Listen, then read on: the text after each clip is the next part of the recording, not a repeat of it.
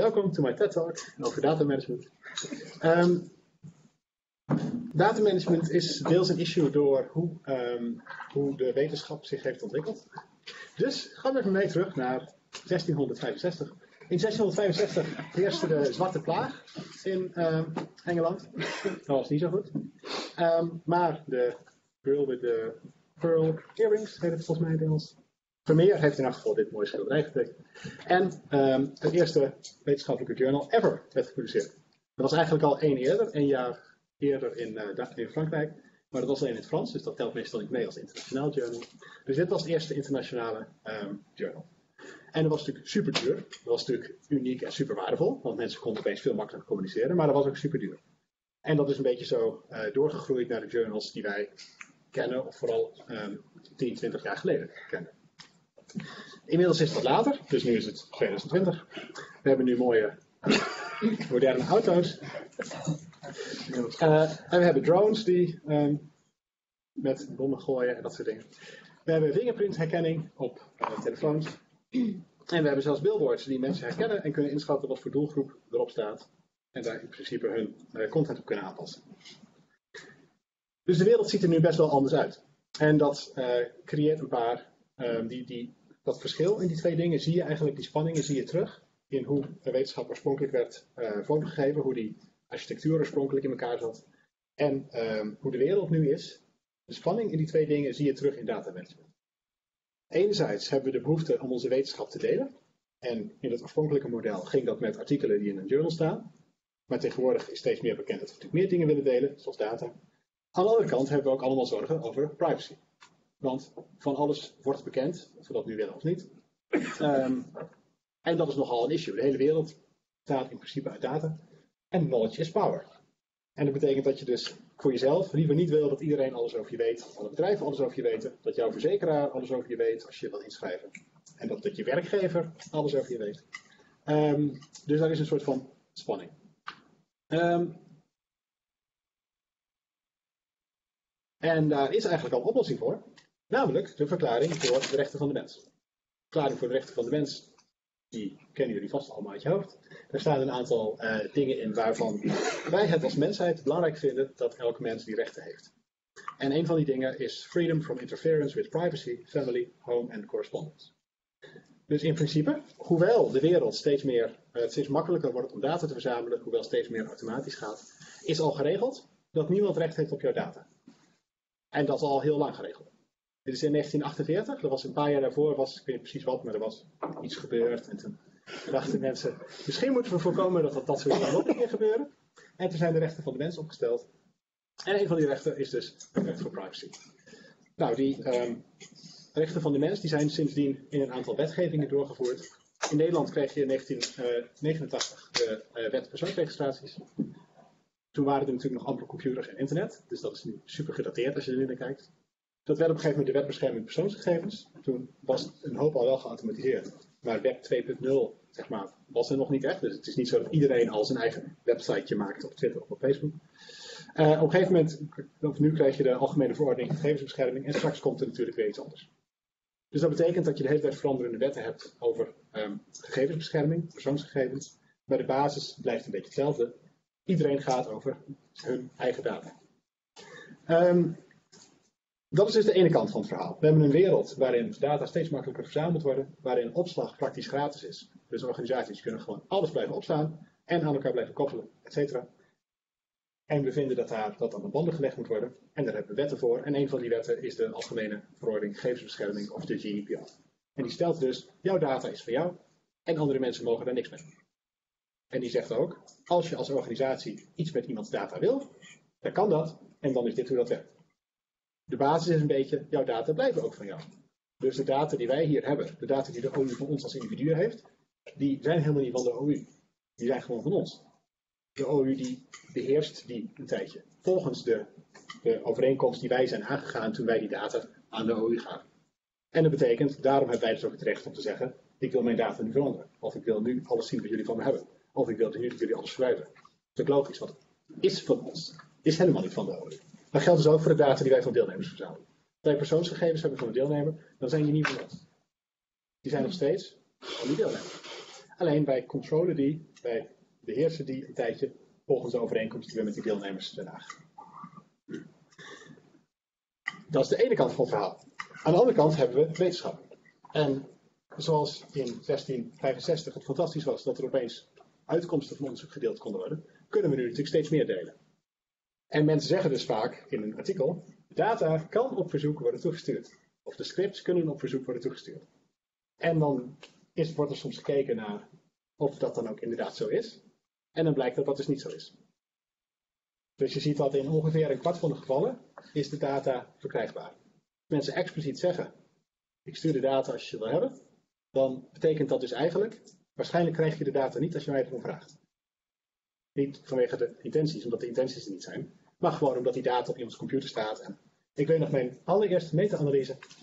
Er waren twee hele coole dingen. Eén cool ding, nou oké, dat was niet zo cool, maar dat was opvallend, was dat mensen zeiden van ja, sorry, ik woon in New Orleans. En tijdens de orkaan is mijn computer gewoon vergaan en die data zijn weg. Dat was niet zo cool, maar wel, ik had wel zoiets van wow, dat kan natuurlijk ook nog gewoon. En de andere was dat iemand gewoon haar hele proefschrift, dat was in de US net al een soort master thesis, dat zijn gewoon een soort van, dat is één studie. Die had gewoon tabellen met data uitgetypt achter een proefschrift in de jaren 70 of 80. En die had het laten kopiëren en gewoon toegestuurd als hardcopy. dat heb ik toen allemaal weer ingevoerd. en herberekend. En er kwam dus iets anders uit. En toen zei ze ook nog van ja, het moet wel maar op jouw getallen afgaan. Niet dus dat was een heel goed, heel goed um, een goede ervaring, zeg maar. Zo kan het ook. Maar kennelijk gebeurt dat maar in een kwart van de gevallen. Meestal, als mensen een artikel publiceren en zeggen je kunt de data krijgen op verzoek, kan dat niet. Dan zijn die er niet. Dat is natuurlijk een probleem. Ehm, dat is een van de redenen waarom, als je meta-analyse doet, je niet zoveel hebt aan die effect sizes die eruit komen. Er zijn nog heel veel andere redenen voor, publication bias, etc. Maar deels ook omdat die data vaak niet meer beschikbaar zijn. Als je kijkt naar de vergelijking tussen grote uh, replicatiestudies, dat ze in meerdere labs een bepaalde studie repliceren, en ze kijken naar de effect size die ze daar behalen, en je vergelijkt die met de effect size die je uit meta-analyses krijgt van gepubliceerd onderzoek, is die altijd veel lager. Als je hier kijkt, zie je dat ongeveer, als je naar meta-analyse of systematische reviews kijkt, de size die eruit komen, die zijn ongeveer een kwart tot een derde standaarddeviatie hoger dan wat je zou vinden als je een replicatiestudie doet. Dus die overschatten allemaal heel erg de, um, de echte effect sizes. Dat is een probleem. Dat betekent dus dat de manier waarop wij naar onze onderzoek kijken, naar de literatuur kijken, enkele studies die zijn nog niet heel waardevol, dat wisten we al. Maar als je dus ook nog naar meerdere studies gaat kijken, als je dat synthetiseert, dan wordt het ook heel lastig om een beeld te krijgen van wat er eigenlijk is gebeurd. En een van de redenen is dat je niet naar die oorspronkelijke data terug kunt. Als we allemaal individual patient data met analysis kunnen doen, kun je veel beter kijken naar wat er precies is gebeurd. Daarvoor heb je al die dataset nodig. Dus er is vanuit de wetenschap een hele sterke drive van zorgen dat het allemaal wel beschikbaar is. Want de schattingen die wij nu hebben, wat wij denken te weten over de realiteit, klopt gewoon niet. En dat komt deels omdat veel dingen afgesloten zijn van toegang voor anderen. Dus je hebt die twee ehm, doelen. En binnen de Open Universiteit um, zitten wij in Europa en we hebben dus vaak deelnemers uit de EU. Dus dat betekent dat wij bij onze dataverzameling gebonden zijn door de GDPR. Dat is niet echt heel veel keuze, zeg maar. We kunnen niet als universiteit zeggen dat we dat niet zo'n heel goed idee vinden. Dat zeggen individuen soms wel, maar als organisatie kun je dat niet zeggen. Um, en wij hebben al een jaar of vier, vijf, hebben wij een open science beleid. Dus dat betekent dat wij als Open Universiteit Open Science voorstaan. Wij hebben zoiets als een soort commitment gemaakt. Wij snappen dat dat belangrijk is. Wij snappen dat die openheid, open data, open access, open scripts, open materialen, preregistraties. Wij vinden dat belangrijk en wij zijn gecommitteerd als instituut om dat zelf uit te dragen. Dus dat is een beetje het ecosysteem waar wij hier als wetenschappers binnen functioneren.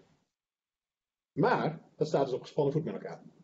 Want als je data verzamelt, en je verzamelt persoonsdata, dan zijn die helemaal niet van jou. Dus je kunt helemaal niet zeggen, ik ga die openbaar maken. En tegelijkertijd is er die drive, die plicht om dingen wel openbaar te maken. Nou, daar zijn natuurlijk allemaal oplossingen voor. En ik heb hier een paar praktische tips op een rijtje gezet. Letterlijk op een rijtje, want van nu wordt het meer tekst met bullets en minder coole plaatjes. Uh, dus ik heb net iets uitgelegd over de achtergrond. Waarom eigenlijk data management zo belangrijk is. Dat is dus enerzijds omdat wij een uh, wettelijke verplichting, maar ook een morele verplichting hebben naar onze deelnemers. Om netjes met hun data om te gaan, die wij toevallig mogen beheersen. En anderzijds omdat wij een open science beleid hebben. En ook weer moreel de plicht hebben, omdat wij in principe publicly funded zijn, om wat wij daar, wat, wij aan onderzoek doen, terug te geven aan de wetenschap. En te zorgen dat burgers en wetenschappers van andere universiteiten daar mee in de slag kunnen. Hebben wij een imperative voor open science. Die achtergrond van die twee heb ik nu een beetje uitgelegd. dan zal ik nu uitleggen hoe je dat kunt doen zonder dat het eigenlijk heel veel tijd kost. Want dat is uiteindelijk, tenminste voor mij, een doel dat ik vooral met de leuke dingen bezig ben en minder met die randvoorwaarden. Dus als je data hebt verzameld, dat ziet er natuurlijk altijd zo uit, als je weet. Ehm, dan is het idee dus je wil daar open data van maken. Fair open data. Daar kom ik zo op terug. Als je nou zorgt dat wat je daartussenin met die data doet, als je dat een beetje slim doet, dan kost, hoeft dat dus weinig extra tijd te kosten. In principe, als je gewoon als je geen persoonsdata verzamelt, dan is het heel simpel. Dan hoef je die alleen maar te zorgen dat je die ergens neerzet dat andere mensen er wat mee kunnen. Als je wel persoonsdata verzamelt, dan is het wat lastiger. Dan moet je die data op een gegeven moment splitsen. Dan kun je een deel wat niet openbaar mag worden, maar je kunt een deel natuurlijk anonimiseren en dat kun je dan wel openbaar maken. Dus dat is een beetje het doel. Het doel van datamanagement is uiteindelijk dat je naar een eindtoestand toewerkt die wettelijk legaal is, ook op andere manieren legaal. Um, en die consistent is met het open science beleid van onze universiteit, maar waar wat zeg maar een soort wereldbeleid is, zeg maar, wat alles gaat. Het is niet alleen maar een kwestie van je data ergens neerzetten. Um, als je een dataset hebt, dus stel je hebt een CSV-bestand, een tekstbestand met data erin, met commas tussen elke kolom en dan elke regel op regel. Uh, dan kan in principe iedereen het importeren. Maar als je niet weet welke kolom waarvoor staat, dan kun je daar nog niks mee. Dus mensen moeten ook snappen waar die data precies vandaan komt. Dus het is niet alleen een kwestie van je dataset online zetten, daar moet ook de metadata bij zitten die mensen nodig hebben om het te interpreteren. Daar hebben wij als psycholoog een soort voordeel. Um, als je um, wat harder onderzoek doet, dan werk je met uh, natural kinds. Dan onderzoek je dingen die ook echt soort van bestaan in de realiteit. En dan heb je vaak ontologieën en systemen om te beschrijven wat voor molecuul je nou precies gebruikt. Wij hebben dat niet. Wij hebben gewoon constructen die we soort van zelf bedenken en die we dan in het beste geval min of meer adequaat definiëren. En waar we dan meetinstrumenten bij hebben die als het goed is soort van een beetje iets zeggen over dat construct. We hebben dus niet echt heel zinvolle metadata die we mee kunnen leveren. In principe kun je dat heel operationalistisch bekijken. Je kunt zeggen, dit is meetinstrument, dat is de kolom die eruit kwam. Dat is in principe een uitputtende beschrijving. Idealiter gaan we natuurlijk toewerken naar een systeem dat we een soort taxonomie hebben van constructen met expliciete beschrijvingen, waar ook bij staat welk meetinstrument bij welke beschrijving hoort, zodat je op een gegeven moment het machine readable kan maken. Onze metadata kan voor het grootste deel niet machine readable gemaakt worden. Wij beschrijven gewoon wat een kolom doet. Maar we zijn nog niet zo ver voorlopig dat we die datasets op een gegeven moment automatisch kunnen koppelen, zonder dat je dat zelf custom Dus dat is voor ons wat makkelijker. In principe hoeven wij alleen maar te beschrijven wat er in zo'n dataset staat. Um, en dat kan dus allemaal makkelijk door een soort workflow um, te adopten, te over te nemen, te gebruiken. En dat betekent dat je dus moet zorgen dat de ruwe data, als je persoonsdata verzamelt, dat die ergens veilig worden gesteld, want daar mag dus niemand bij. Dat je een geanonimiseerde dataset openbaar maakt, zodat juist iedereen erbij kan. En dan ook zoals jij wil. Kom ik zo nog op terug met, met een stukje over licenties. Um, en dat je zorgt dat andere mensen die data ook kunnen vinden, dat ze die kunnen begrijpen en dat ze ermee kunnen werken. Dat ze ook weten wat ze er precies mee kunnen.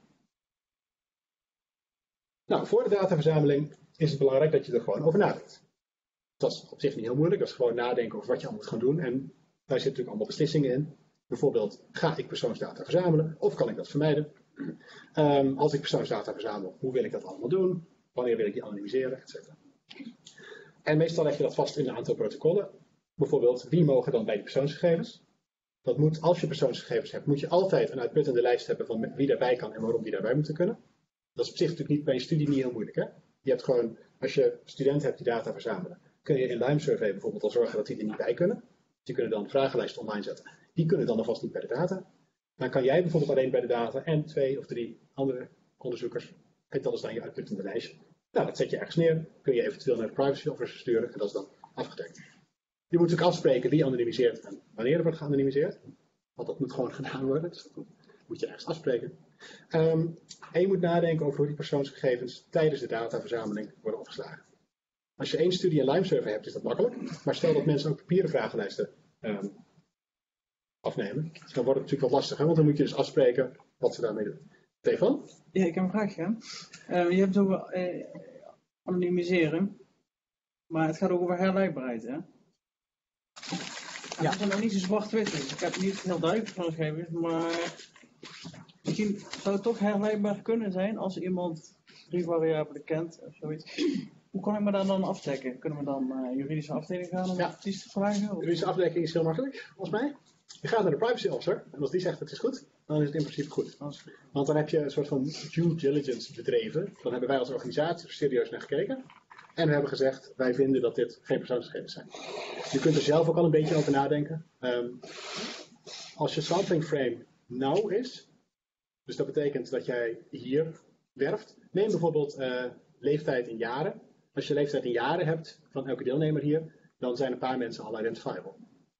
Als je leeftijd in jaren hebt van een sample uit heel Nederland, dan is niemand identifiable. Als je leeftijd met geboortedatum hebt, en je combineert dat met geslacht en postcode, dan is bijna iedereen waarschijnlijk identifiable in Nederland. Dus het hangt een beetje af van je sampling frame, dus uit een hoe grote populatie komen de deelnemers, in combinatie met de resolutie waarop je data verzamelt. Dus als je een heel nauw sampling frame hebt, dan moet je de resolutie van je dataverzameling verlagen. Dus dan meet je leeftijd niet in. Je moet het sowieso nooit in geboortedatum meten, want daar hebben we toch niks aan, als tot zo nauw komt in onderzoek. Ehm, maar dan meet, je, dan meet je het in jaren, of als je een kleine sampling frame hebt, meet je het in decennia bijvoorbeeld. Dus dat is een beetje een soort van. Leon? Misschien aanvullend. eh, wat wij vaak hebben natuurlijk is ook medische data van mensen. Eh, omdat je met patiënten werkt bijvoorbeeld. Ik kan me dat in de klinische groep ook goed voorstellen. En wat je dan ziet is bij de, bij de meeste mensen die adviseren, die adviseren hier, is dat ze ook spreken, van pseudonymiseren. Niet alleen maar anonymiseren. Maar een andere manier daarmee omgaan met de data. Ja, maar gepseudonymiseerde data wordt nog wel beschouwd als persoonsdata volgens de AVG. Ja. Dus dat is een probleem, want dat betekent dat je dus alle pains in the ass van de... Maar goed, als je met medische data werkt, weet je dan, en je kunt niet anonymiseren.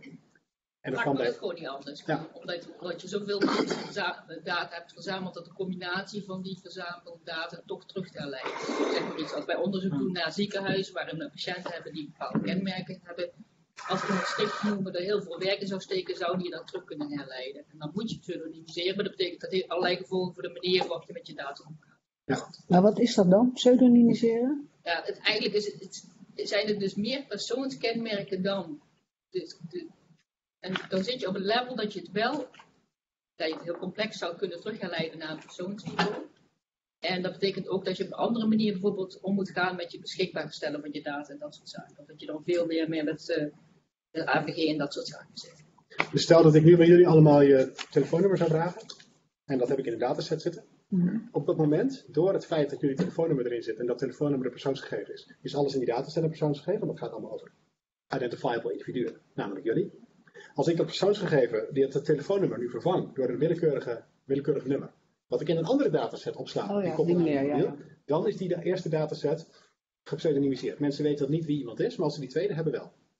Als ik die kolommen gewoon uitrip, dan is het geanonimiseerd. Tenzij die wel ergens nog bestaat, want dan kunnen mensen het nog. En het voordeel van psychologisch onderzoek is dat onze data die wij verzamelen, omdat onze meetinstrumenten zo slecht zijn, en onze test-retest reliabilities laag zijn, en onze gewone reliabilities laag zijn, zelfs als wij hetzelfde meetinstrument aan dezelfde persoon geven, ga je iets anders vinden. Dus de uitkomsten van onze vragenlijsten zijn nooit persoonsgegevens. Eh, als de gegevens eigendom blijven van de, van de persoon eh, en wij slaan die gegevens tijdelijk op en iemand eh, wil op een bepaald moment uit het onderzoek stappen en zijn account vernietigd hebben, wat doen we dan met de data? Er zijn speciale ehm, provisies voor in de AVG, maar die ken ik niet precies. Maar wat ik begrijp van eh, Mark, die paar keer dat het een beetje aan bod kwam, hoeft dat volgens mij niet. Wat we kunnen zeggen, wat we als eh, werkregel, werk, working systeem nu gebruiken bij O4U, is dat zolang de dataverzameling loopt, kunnen mensen zeggen ik wil eruit en huis eruit. Inclusief data. Ja. En op een gegeven moment is er een soort van eindpunt. En dat kun je dus ook aangeven bij mensen. Dan stopt de dataverzameling. Dan anonimiseer je ook. Dan publiceer je het dataset. En dat is dus ook het moment waarop mensen niet meer dingen eruit kunnen halen. Dat is denk ik de meest werkbare en respectvolle manier naar deelnemers toe. Wat ik. Zei je nou net dat al onze eh vragenlijstdata niet telt als persoonsgegevens, Nee. vanwege dat die niet eh, eh, betrouwbaar is? En is, ben je, ben- vind jij dat alleen of is dat ook... eh, Nou ja, het punt van ehm, persoonsgegevens is herleidbaarheid. ja, Als jij met datapunten kunt bepalen wie iemand is, dan heb je dus persoonsgegevens. ja. Ja, heb je zo'n patroon van eh, wel kunnen terugherleiden. hè? Als we bij iedereen de back afnemen... Persoonlijkheid. alles- eh, Zo'n patroon. experimenten. Dus Dus je scoort elke keer wel iets op. Ja, Maar als het patroon dan kan alsnog herleidbaar zijn. Allemaal Nou, hoog, hoog hierop, gemiddeld daarop, laag daar. Ik ben eh, op basis van wat ik tot nu toe weet over de betrouwbaarheid van ook persoonlijkheidsvragenlijsten, ben ik heel sceptisch dat je daar. eh, Maar we kunnen er een keer naar kijken. Ja, we kunnen het proberen. kunnen mensen gewoon vaker vragen. Dit zijn makkelijk onderzoek. Kun je het makkelijk publiceren, want het is een nieuw. Leuk ding. groepspel is dat Herken dan voor de collega. psyfan. Ehm, ja, dus dit zijn dingen waar je over na moet denken voor dataverzameling. Dan, ehm, als je die toegangslijst hebt vastgesteld, moet je een repository kiezen. Je moet nadenken over waar je die data neer wil zetten. Er zijn er echt superveel van. Eh, een paar bekende zijn, eh, Dans heeft Easy. Dat is een heel goed repository, want die hebben het behoud van de data als er een kernoorlog uitbreekt supergoed geregeld. En die letten heel erg op dat de metadata ook goed is en in wat voor bestandsformaat die dingen eh opleveren. Keerzijde daarvan is dus dat het een beetje een pain in is, omdat je een hoop rompslomp omheen hebt. Ehm, en dat je het pas op het einde kunt doen. Dataverse is een veelgebruikt systeem van gelinkte repositories, waar ik zelf nooit mee heb gewerkt. Maar dat wordt wel heel veel gebruikt. En die hebben volgens mij ook de, behoud bij kernoorlog goed geregeld. En het Open Science Framework wordt door mensen die veel met Open Science zijn heel veel gebruikt. Want dan kun je ook tijdens het project dingen inzetten. Zodat het handig is als je niet op het einde nog een hele klomp werk wil hebben. Dan kun je gewoon een cloud service of de, bijvoorbeeld eh, Git of wat je ook gebruikt, kun je gewoon synchroniseren met het Open Science Framework. En zo nu en dan kun je dan een registratie vastzetten. En dan wordt gewoon je hele project bevroren. En dan kunnen mensen er later naar teruggaan. Dus dat is super handig. Kun je van tevoren kun je gewoon bevriezen. Kun je naar dataverzameling bevriezen. Kun je als je meer analyses hebt gedaan en dingen hebt toegevoegd, kun je bevriezen. En dan kan iedereen altijd tracen wat er eigenlijk gebeurd is tijdens je project. Ik had begrepen dat je bij dans moet je altijd de aanvraag doen bij de onderzoeker. En dat je bij dat andere kan je het openstellen uiteindelijk. En dan kan iedereen gewoon doen ermee wat hij wil. Ja, kan bij dans ook. Oh, dat kan bij dus je dans kunt ook. kiezen wat je wil. Bij OSF kan het ook, Mm. want je kunt het project ook privé zetten. Dus je Ja. kunt allemaal verschillende manieren kiezen hoe je dat wil doen. Ja. Ehm, alles wat niet gewoon openbaar is, is natuurlijk een zwakheid en draagt bij aan die biases in de literatuur. Omdat je dan meer stappen nodig hebt om er uiteindelijk bij te komen. Ehm en je moet licentie kiezen, dat is iets ingewikkelder, dus daar kom ik straks wat uitgebreider op terug. En vervolgens wat je van tevoren kan doen, is alvast nadenken over de variabelen Die de codes in Lime Survey. En er zijn een aantal conventies die je toe kan passen die ehm, je leven beter maken. Eén daarvan is dat je ehm, een van deze cases gebruikt. Er zijn een aantal conventies voor eh variabele namen om onderscheid tussen woorden duidelijk te maken. Ehm, wat tegenwoordig kan, want vroeger, dat mensen die van mijn leeftijd of ouder zijn, die weten nog dat je vroeger in DOS bestandsnamen, die hadden altijd acht karakters en dan een punt en dan drie karakters. Tegenwoordig kan dat in Windows alle kanten op en kun je zelfs spaties in bestandsnamen hebben. Het probleem is alleen dat, bestands, dat spaties in bestandsnamen niet ehm, platform onafhankelijk zijn. Dus dat betekent dat je daarmee al een deel van de rest van de wereld uitsluit bij je data te komen. Dus idealiter gebruik je nooit spaties en maak je het onderscheid tussen woorden duidelijk door bijvoorbeeld underscores te gebruiken of streepjes of eh, camel case. Dat je gewoon een hoofdletter gebruikt als een nieuw woord staat. Ehm, voor variabele namen adviseer ik om een combinatie te gebruiken van snake case en camel case. Want in uh, Lime Survey kun je in de codes van de variabelen mag je geen underscores gebruiken. Dus daar moet je wel snake case gebruiken. Maar als je in Lime Survey een vraag hebt met subvragen, dan koppelt hij die codes met een underscore. Dus dan krijg je uiteindelijk in je dataset een mix van die twee. Dit lijkt super simpel en super triviaal, dat is het eigenlijk ook. Je moet gewoon iets beslissen. Maar als je dit consequent toepast, dan is dat wel heel erg handig, omdat je ook tijdens je analyses niet meer na hoeft te denken over hoe je variabelen heet. En je kunt gewoon systemen gaan inbouwen, waardoor je tijdens de analyse ook kan zeggen, pak nu alle variabelen waar deze drie tekens in staan. Um, bij bestandsnamen adviseer ik om of een streepje of een underscore te gebruiken. Een gewoon streepje kun je beter niet in variabele namen gebruiken, omdat software vaak geen streepjes in variabele namen aan kan. Want dat is namelijk de minus operator. Dus dat is dan een probleem. Vermijd de spaties en symbolen. Dus ik zou gewoon alleen maar uh, A tot en met Z in hoofdletters en kleinletters en 0 tot en 9 gebruiken. En dus underscores en streepjes. En het is slim om alvast alles voor het Engels te doen. Anders moet je namelijk op het eind van het project alles nog weer een keer gaan zitten vertalen naar het Engels. Engels is een beetje de facto wat vroeger zeg maar Frans was, gewoon de taal van de wetenschap. Um, dan, als je data verzamelingsinstrument hebt ingericht, dan ga je dat testen, als het goed is. Als je dat niet al deed, dan is dit een tip. Eh, en tijdens dat testen importeer je het naar wat voor software je ook zou kunnen gebruiken. Ehm, en dan schrijf je een analysescript, dus syntax in SPSS bijvoorbeeld. En als je persoonsdata hebt, dan anonimiseert hij de data en schrijft hij een geanonimiseerde versie weg. En hij doet eventueel andere data cleaning. Eh, stel dat je bijvoorbeeld antwoordopties hebt in het Nederlands, dan is het handig om die te vertalen naar het Engels bijvoorbeeld.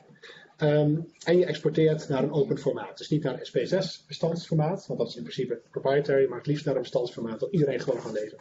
Wat ze ook hebben als software. Dat analysescript maak je van tevoren, dus dan kun je dan testen. En dan kun je zien dat het goed gaat. En dan kun je even checken dat er niet stiekem toch nog een paar kolommen in staan, waar wel persoonsgegevens in staan. Nou, en als je dat zeker weet, is dat ook afgerond. En dan verzamel, ga je data verzamelen. En als je persoonsgegevens verzamelt, hoef je dan alleen maar op te letten dat ook alleen maar de mensen erbij komen die erbij moeten komen. En dat als mensen dingen met papieren vragenlijsten doen, dat ze dat ook goed doen en dat het allemaal goed wordt opgestuurd of dat het wordt opgehaald. Of hoe je ook hebt bedacht dat dat moet. Ehm, dan, als je de data hebt verzameld, dan run je dat analysescript. En dat betekent dat je daarna dus eh, een opgeschoonde versie hebt in een open formaat. En als je geen persoonsgegevens hebt, dan ben je dus eigenlijk klaar. Dan is dat het. Dan hoef je alleen nog maar de metadata te checken, dat andere mensen ook snappen wat er precies in staat, waar elke kolom voor staat. En als dat allemaal begrijpelijk is, dan kun je het op je repository posten. En dan is het klaar. Dus zo makkelijk kan het zijn. Maar dat houdt dan ook in dat je het oorspronkelijke ruwe bestand niet meer bewaart. Je hebt Nou, geen, In dit geval heb je geen persoonsgegevens. Dus zonder persoonsgegevens dan. Dus dat, is, dat bestand moet je weggooien. Of je op dit publiceert, nee, want je hebt toch geen persoonsgegevens. Dus hier maakt het allemaal niet Nee, maar als het binnenkomt, daarom heb je ze verwijderd. Dus je hebt die persoonsgegevens uitgehaald. Maar er is een bestand met persoonsgegevens. Als je geen persoonsgegevens verzamelt, niet. Stel dat je geen persoonsgegevens Nee, maar stel dat je het nou wel doet. Ja. Mijn vraag heeft geen op dat je het wel doet. Stel dat je wel persoonsgegevens verzamelt, dat kom ik nu. Want, Oh, oh. Ik denk ehm, wel dat dat de praktijk is. Hè? Ja. niet voor, eh, Opleiding, geslacht, leeftijd is voor al het onderzoek dat wij doen wel relevant. maar het zijn geen persoonsgegevens. Nou ja, in combinatie met een aantal andere variabelen kan Het dat. kan ook kunnen persoonsgegevens worden. op, ziekenhuis, dat soort Ja. Dus als je sampling frame nou is, dan kunnen dat soort dingen persoonsgegevens worden. Maar met een breed sampling frame niet. En dus leeftijd, geslacht, opleiding met een aantal psychologische kenmerken, als vragenlijsten die dan toch niet nauwkeurig meten wat we willen meten. Dan heb je geen persoonsgegevens, nee. Nee, Tenzij je alleen maar onderzoek doet in de basisschool in IJsland. ja, maar vaak. En dat dan vermeld. Als je het niet vermeldt, weet iemand het nog niet. Nee, ja. Ja, maar dan kan iemand wel achterkomen, hè? want er is natuurlijk bij de CETO een eh, aanvraag ingediend waar jij er gedingest. En dan kunnen mensen erachter komen dat dat die dataset is. Dus dat is niet voldoende. Met, als mensen met een redelijke investering erachter kunnen komen wie iemand is. En dat zou nog wel een redelijke investering zijn. Dus het gaat echt om je sampling frame. Je moet idealiter voorkom je nauwe sampling frames. En als dat niet kan, dan meet je idealiter leeftijd in tientallen in plaats van een jaar. Of je denkt na over hoe je kunt voorkomen dat je mensen identificeerbaar maakt. Of je accepteert gewoon dat je persoonsgegevens hebt. En dan, want dan is het ook nog helemaal niet zo heel erg. Ehm, dan heb je tenslotte dat script gerund. En dan heb je dus opeens twee belangrijke datasets. Die ruwe geïdentificeerbare dataset, waar dus niemand bij mag. En die geanonimiseerde dataset. Nou, die geanonimiseerde dataset, die post je dan weer gewoon online. Daar geldt hetzelfde voor.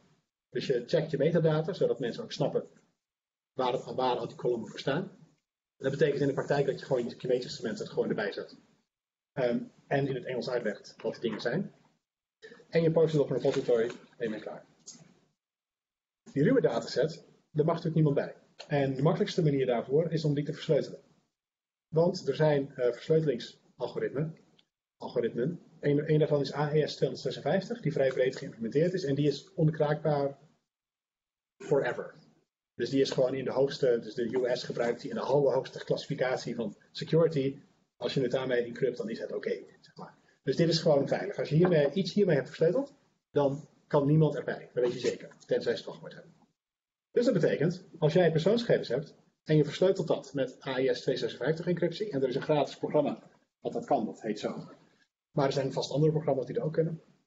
En je zet daar een sterk wachtwoord op, en niemand heeft dat wachtwoord, dan ben je klaar. Dan heb je in principe aan je plicht voldaan. Dan heb je het veiliggesteld. Dus, het is misschien niet helemaal leesbaar voor iedereen. Dit gaat over ehm, wat een sterk wachtwoord is. Een sterk wachtwoord is niet een woord met ehm, een uitroepteken erachter en een cijfer erbij, zodat je geaccepteerd wordt door software die om een wachtwoord vraagt. Een sterk wachtwoord is vooral lang. Lang en niet goed voorspelbaar. Dus je kunt beter een zin hebben dan een woord met wat leestekens of wat karakters vervangen door leestekens. Ook omdat de karakters die je vervangt door leestekens obviously te bedenken zijn. Dus je schrijft gewoon software die die standaard vervangingen doet. Die. Ehm, en het is nog beter om geen woord te gebruiken. Maar gewoon 20 karakters random achter elkaar te zetten. Dat betekent dat je het ook niet meer kunt onthouden. dus dat is een beetje on- onpraktisch. Ehm, maar daar is ook een oplossing voor. En dat zit hem een beetje hierin. Kijk, het probleem van dingen die je niet kunt onthouden is dat mensen het dan ergens gaan opschrijven. En dat raakt een beetje aan het probleem met die beveiliging. Je kunt wel een supergoed systeem hebben met supersterke wachtwoorden. Maar als mensen die ergens opschrijven, dan ben je nog steeds super kwetsbaar. Dus bij de OU, bij ICTS, zijn ze nu de hele tijd super hard aan het werken. En Wim Schot, die ons O4U systeem heeft gebouwd, heeft super hard gewerkt om te zorgen dat dat allemaal AVG-proof is. Dat het allemaal helemaal popdicht zit, dat niemand erbij kan. Maar er hoeft maar één iemand zijn of haar wachtwoord voor Lime Survey in een Word-document te zetten of zo. En het maakt allemaal niet meer uit. Het is gewoon, de dingen lekker gewoon. Dus, dat moet je niet doen. Daar is gelukkig een oplossing voor. En dat heet een password manager. Daar is één van die wij hier bij de OU veel gebruiken. Die zit zelfs in architectuur, lijkt. KeyPass heet dat. En dan kun je gewoon gratis downloaden en installeren. Ik heb toen ik googelde ontdekt dat er een alternatief is, KeyPass X. Dus je zou ze zelfs allebei nog uit kunnen proberen. En kunnen kiezen welke je wil gebruiken. Dat is een systeem waar je gewoon wachtwoorden in zet. En dat beveilig je dan met een wachtwoord. En als je dat dan opzet. Ja, als je dat schrijf je dan op, op een post-it op je monitor. Ja. En dan, eh, Je hoeft er wel nog maar één te leren. ja. Dus je hoeft in principe maar één heel sterk wachtwoord te hebben. En dat moet je onthouden. En dan zet je alles verder daarin. En dan ehm, kun je veilig wachtwoord gebruiken. Dus dat betekent dat als je persoonsgegevens gebruikt, de simpelste oplossing is dan dat je die versleutelde dataset, die kun je gewoon in het openbare repository zetten. Die hoef je niet ergens weg te zetten op een geheime server. Want daar kan toch niemand bij. Als ze je wachtwoord maar niet hebben. Vervolgens moet je zorgen dat iedereen die ruwe data verwijdert. Dat moeten ze dan dus ook wel echt doen, want als die nog ergens op een USB-stick staan, heb je weer binnen no time een datalek. En je moet zorgen dat een selecte groep, een lijst van mensen waarvan jij weet wie het zijn. En misschien moeten we ooit wel, het hangt er vanaf hoe dat gaat met jurisprudentie en AVG. Misschien moet zelfs de privacy officer ooit wel al die lijsten hebben van al die mensen die bij al de datasets kennen. Hè? Maar goed, voorlopig niet. Dus zorg gewoon dat je dat zelf regelt met een paar mensen. Dan weet je dus wie, bij dat, wie dat wachtwoord hebben. En het is heel belangrijk dat die dat dus alleen maar opslaan achter een wachtwoord. In een password manager. Niet in een Word bestand waar een wachtwoord op zit. Of een Excel bestand waar een wachtwoord op zit. Maar in een password manager. Kijk, dat is wat ik rood. Dat het heel erg belangrijk is. In een password manager. Dit is trouwens sowieso een goede gelegenheid voor mij om de tip aan iedereen te geven. Als je dat nog niet hebt, installeer een password manager. Niet alleen voor die datasets, maar ook gewoon voor de rest van je leven. Omdat je gewoon voor andere websites natuurlijk. telefoon Continu. Is weg. Oké, en dan ben je eindelijk klaar. Dus als je persoonsdata hebt, is het op zich nog wat te doen. Oh. Tot slot heb je nog een licentie die je kunt plaatsen op data. Er zijn de CC BY licenties die makkelijk zijn, want die zijn heel begrijpelijk voor de meeste mensen. Maar die, er zit kennelijk een soort juridische tekst achter die ook nog eens een keer klopt. De simpelste licentie is de public domain. Dan zeg je gewoon, ik hoef geen rechten. Hier is het voor de rest van de wereld. Iedereen mag ermee doen wat ze wil. Ehm, maar je hebt ook die Creative Commons ehm, gespecificeerde licenties. En er zijn vier soort van smaken die je kunt combineren. Je kunt zeggen, iedereen mag dit gebruiken, maar ze moeten wel naar mij refereren in de wetenschap, attribueren. Ehm, ze mogen het wel gebruiken, maar ze mogen er geen geld voor vragen. Ze mogen het wel gebruiken, maar ze mogen het niet veranderen. Ze mogen het alleen maar doorkopiëren. Of ze mogen het wel veranderen, maar als ze het veranderen, dan moeten ze het delen onder eenzelfde licentie.